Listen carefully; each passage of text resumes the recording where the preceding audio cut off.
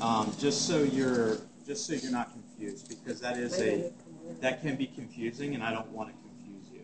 You know, if I say I want you to do it this way, then you know, okay, this is this is the way Chef wants it. But if you like this, you want to know your secret that way. Exactly.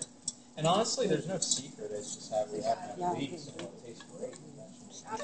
I was holding the pot. So I just made an executive decision But my one of my goals too is to desensitize y'all to this whole like recipe thing. Recipes are not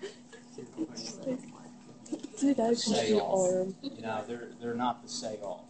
Now, now, that being said, in pastry, a lot of times they are.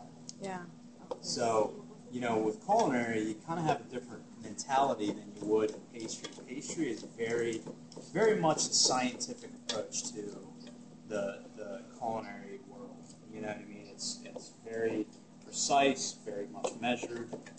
Not, you know, you have to be an extreme uh, professional to, to make your own recipe. You know what I mean? Like you really need to know your stuff.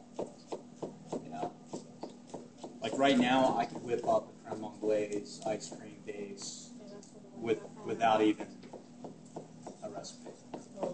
You know what I mean? You know what I mean? But because I've done it so long, I just know how to do it. So, you know. So I'm getting the vegetables and starting to get them to, to sweat up a little bit, but I really don't want a lot of color. I'm gonna add lots of garlic to this. You know, lots of garlic to it. blood pressure in your life. I do actually, but it's genetic. Really? Oh, okay. I was diagnosed with it But I got it under control.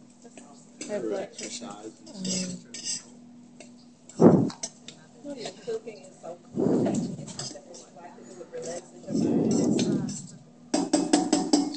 It's It is when I'm